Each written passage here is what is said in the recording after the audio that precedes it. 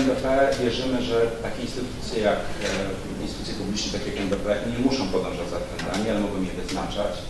My do, do społecznej odpowiedzialności podchodzimy z niesamowitą powagą. Dla nas jest to pewne zobowiązanie, które na siebie bierzemy i przez takie działania liczymy też, że możemy stać się inspiracją dla innych. CSR to jest odpowiedzialność przedsiębiorstw za ich wpływ na społeczeństwo. Wiemy o tym, że ta społeczna odpowiedzialność instytucji publicznej, jak każdej zresztą e, instytucji czy firmy jest dwojaka. Znaczy właśnie swoich pracowników i tego wszystkiego, co się dzieje na zewnątrz. Wydaje mi się, że właśnie te, tego typu działania do, do, dobroczynne, prospołeczne są jakimś tam istotnym elementem. Natomiast y, widziałbym to raczej na, na, na, na marginesie społecznej odpowiedzialności biznesu. domaganie się od tego, żeby, e, żeby sektor prywatny działający w swoim dobrze pojętym interesie wytworzył e, dobry ład społeczny jest błędne.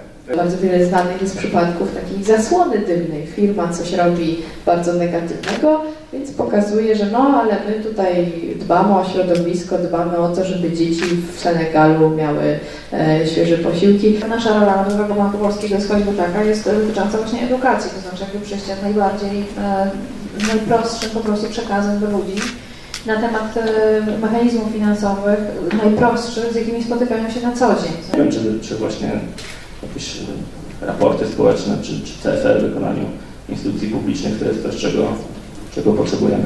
Instytucje publiczne muszą być społecznie odpowiedzialne, to jest ich obowiązek, nie mogą postępować inaczej. E, Biznes może być i dobrze by było, gdyby był.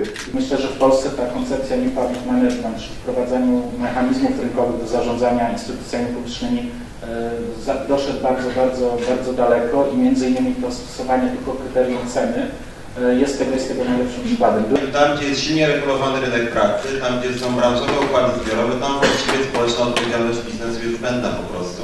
I rzeczywiście to jest pojęcie, które właściwie w ostatnich kilkunastu latach tak naprawdę ma popularność. Wcześniej to pojęcie było e, zbędne. Jeżeli wszystko jest rynkowe, wszystko jest konkurencyjne, no to wszystko musi podlegać normalnym prawom konkurencji i wtedy e, ta odpowiedzialność e, społeczna jest pewnego rodzaju formą konkurencji. Tworzenie wizerunku, bo jednak, przepraszam, już upomniesiona tego turbo, czy tego fusion, czy tej hybrydy, nie rozróżnimy PR-u od społecznej odpowiedzialności. Nawet nie próbujcie. Społeczna odpowiedzialność biznesu ma dotyczyć działalności tegoż biznesu w jego głównym nurcie, a nie być czymś poza, bo to poza to jest właśnie filantropia, to jest dobroczynność prywatna zupełnie, a nie żadna społeczna odpowiedzialność biznesu. To trzeba bardzo wyraźnie dopowiedzieć.